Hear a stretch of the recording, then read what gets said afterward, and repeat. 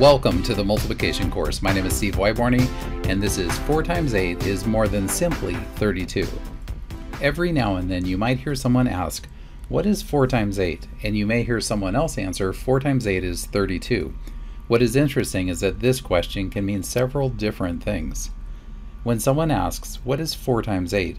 What they might mean is, 4 times 8 is equal to what number?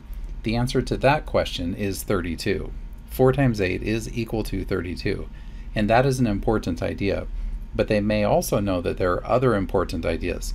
So when someone asks, what is 4 times 8, they may be wondering, what does 4 times 8 mean? And that is another important question. In this video, let's take a closer look at both of these ideas. 4 times 8 is equal to 32. Let's examine some ways that 4, 8, and 32 are related to each other. To begin, if 4 times 8 is equal to 32, then 8 times 4 is also equal to 32. And since multiplication is related to division, we also know that 32 divided by 4 is equal to 8, and 32 divided by 8 is equal to 4. If we look at 32 divided by 8 is equal to 4, we can see that there are several different ways to write this idea we can write 32 divided by 8 is equal to 4. Or we can write 32 divided by 8 is equal to 4, and that can be very useful. So understanding 4 times 8 is more than simply knowing that the product is 32. Here is an array. We know that an array that is 8 by 4 will have a total of 32. And we also know that we can break 32 apart into eight groups of four, just like this. And when we put eight groups of four together, the total is 32. And we know that we can break 32 apart into four groups of eight, just like this. And when we put four groups of eight together, the total is 32. So we can think of 4 times 8 as four groups of 8. You may recognize this as repeated addition, and if we count the groups of eight, we can see that there are one, two, three, four groups of eight. And the total of four groups of eight is 32.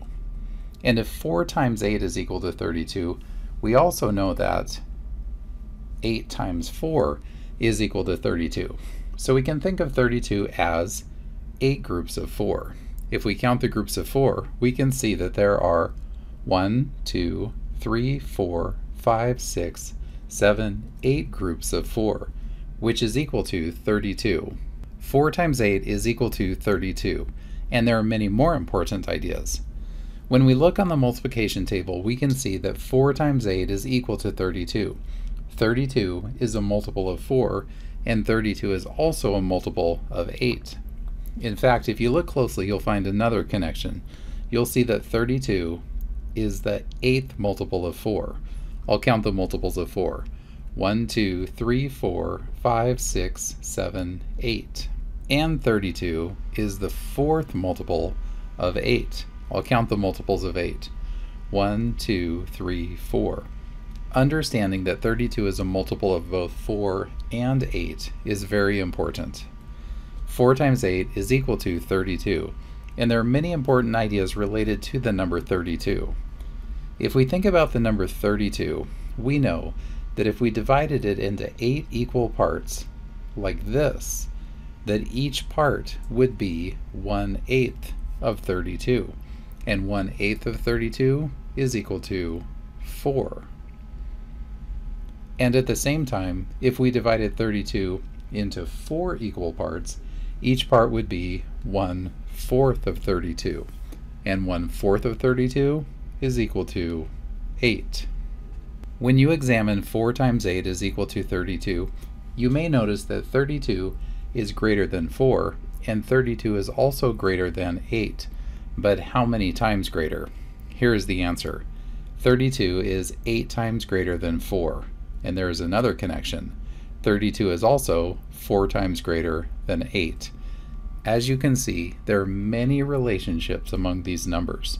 So 4 times 8 is equal to 32, and that is an important idea. But as you can tell, it's not the end of the story.